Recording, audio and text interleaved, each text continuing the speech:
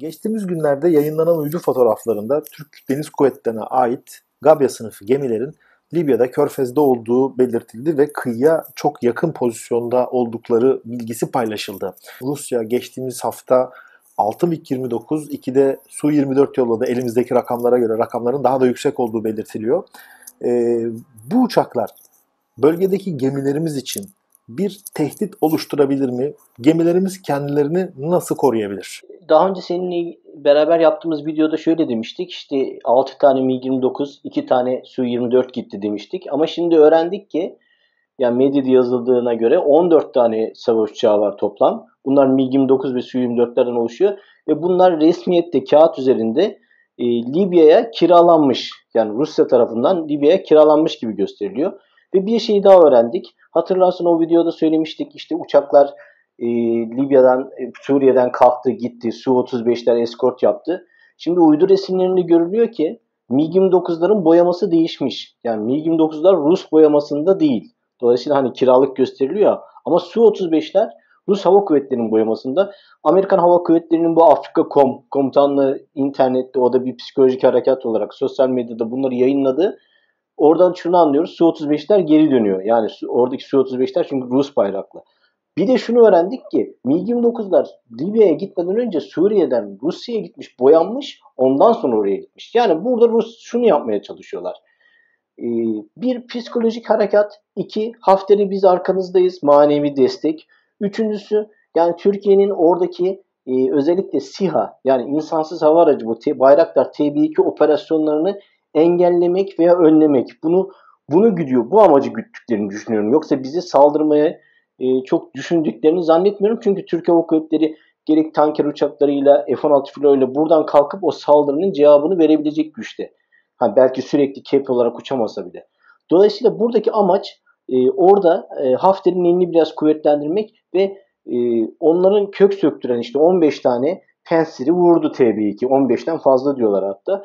Hava savunma sistemini vuran e, unsurları etkisiz hale getirmek. Dolayısıyla şimdi burada şöyle bir şey söz konusu.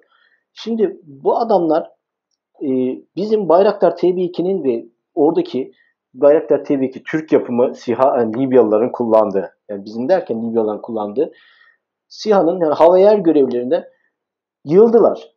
Dolayısıyla ne yaptılar? Ruslardan pensir istediler. Bir kısmı Birleşik Arap Emirlikleri, bir kısmı Ruslardan ki işlerini kesinlikle ben Libyalıların kullandığını düşünmüyorum.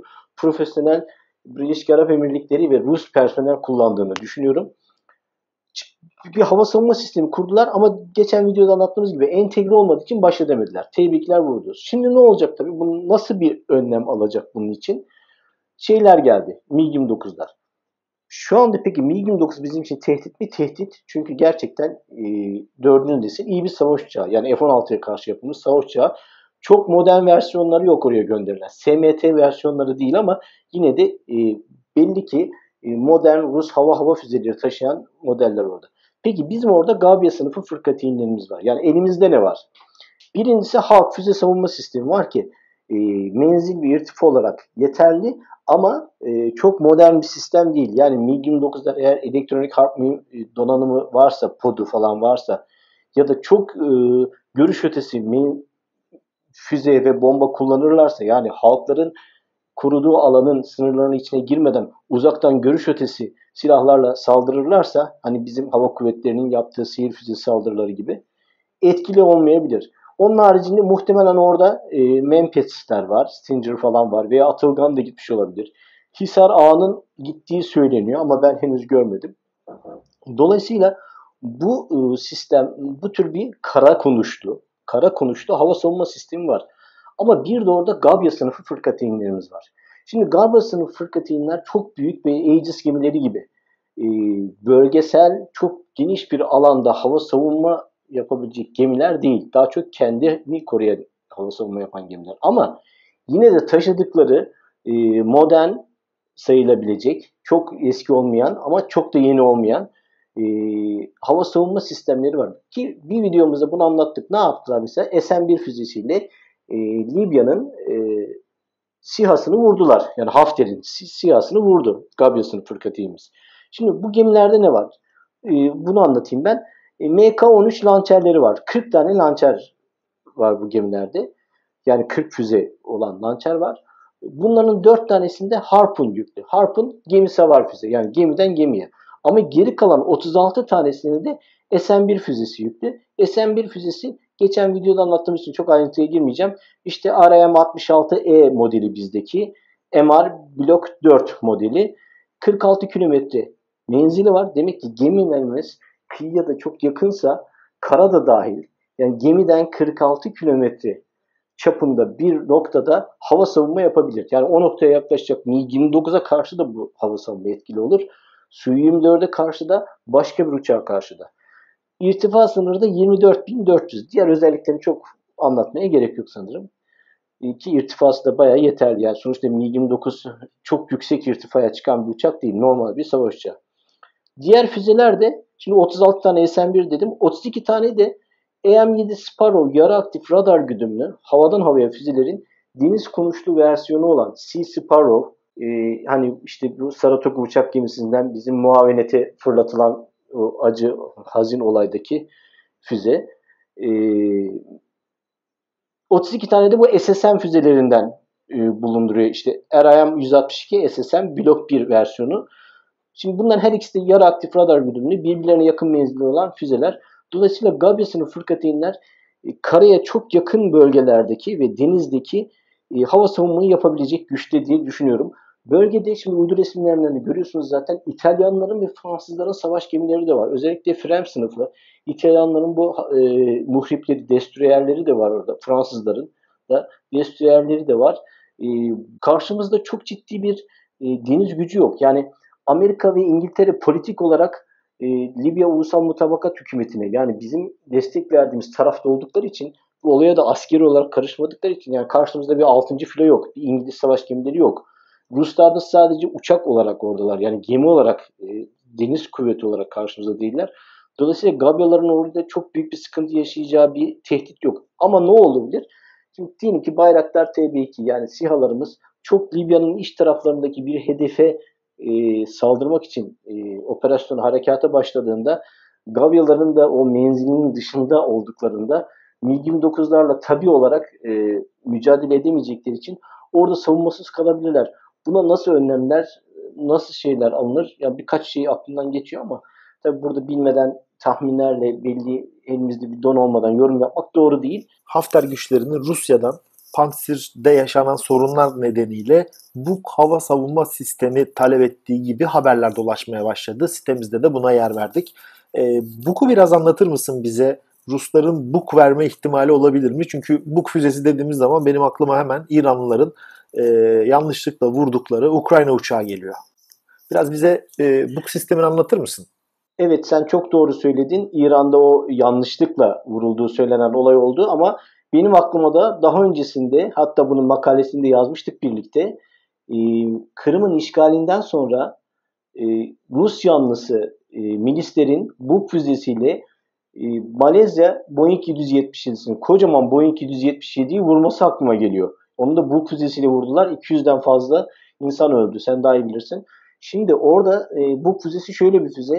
E, direkt uçağa çarpıp patlamak yani çarpma patlama yönüyle öyle bir zorunluluğu yok. Uçağın yanından geçerken bile infilak edip koca bir uçağı düşürebiliyor. Ki büyük bir yolcu uçağını düşürmek veya büyük bir bombardıman uçağını düşürmek e, küçük harp başlığıyla olacak bir şey değil. Demek ki bu kadar etkili ve yüksek irtifaya hitap eden bir füze.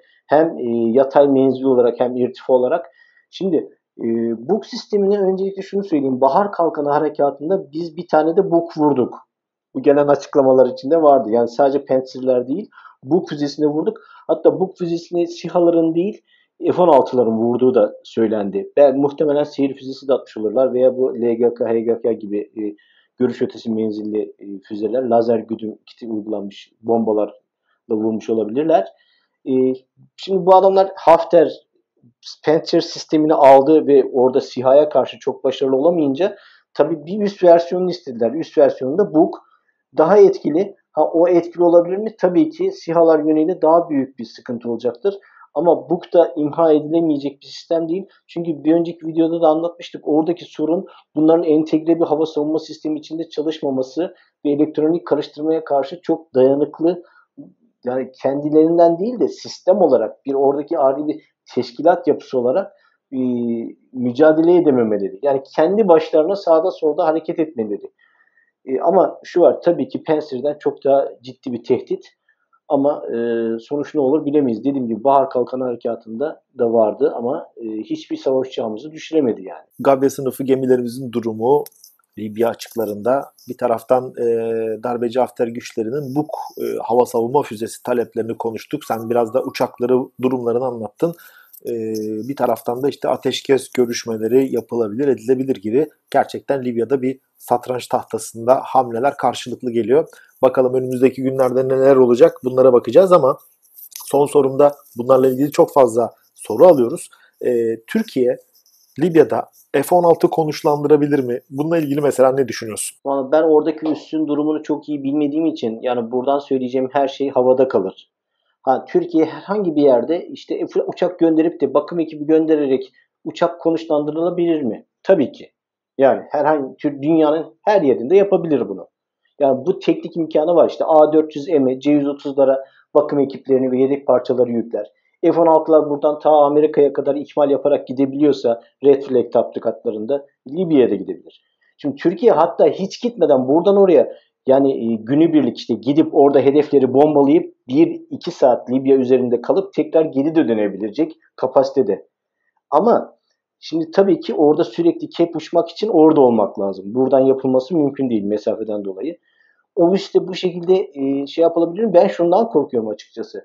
Rusya eğer oyunu biraz daha şey yaparsa Libya göklerinde bir çatışma olmasın ya Allah korusun yani bu çok ciddi işi sıkıntıya sokabilir. Yani onlar bizim TB2'leri vurmaya kalkar, bizim F-16'lar buradan gider müdahale ederse e, yani veya işte orada biz konuşlandırdığımızda daha ciddi sıkıntı olursa ben Rusların e, savaşı bir adım öteye taşıyacağını çok düşünmüyorum. E, ama e, kesinlikle biz eğer oraya konuşlanırsak orada müthiş bir stratejik e, üstünlük sağlamış oluruz. Artık yani MiG-29'ların oradaki SİHA'ya veya Hafter güçlerine karşı herhangi bir şey yapması olayı biter. Çünkü yani bir filo 6-7 tane veya 10-15 tane F-16'nın gitmesi demek çok şeyi değiştirir ki e, ben Rusların tekrardan böyle çok fazla takviye edeceğini düşünmüyorum. Çünkü dikkat edin Amerikan uçak gemisi de İtalya açıklarına gideceği söylendi. Yani NATO da ciddi tepki vermeye başladı. Çünkü NATO ülkelerinin çoğu ulusal mutabakat hükümetini destekliyor. Yani bizim desteklediğimiz tarafı e, ama e, bilmiyorum yani ben aslında çok ihtimal görmüyorum. İki tane F-16 işte bir sürü F-16 gitmiş iki tanesi orada kalmış diye sosyal medyada çok yazılıyor ama inanmıyorum ben iki tane F-16'nın öyle kendi başına orada kaldığına. Hakan bilgiler için çok teşekkürler. Ee, bu videomuzda Libya'nın son durumunu beraber değerlendirdik. Ee, bir sonraki videomuzu yarın farklı bir konuyla sizlerle birlikte olacağız. Bu süreç içerisinde soracağınız soruları lütfen yorum olarak yazın. Kanalımızı beğenmeyi ve abone olmayı unutmayın ve bildirimlerinizi açın. Detaylı haberler ise tolgozbek.com'da yarın yeni bir videoda görüşmek üzere. Bu arada katıl butonumuzu da aktif ettik. Sizlerden katılım bekliyoruz.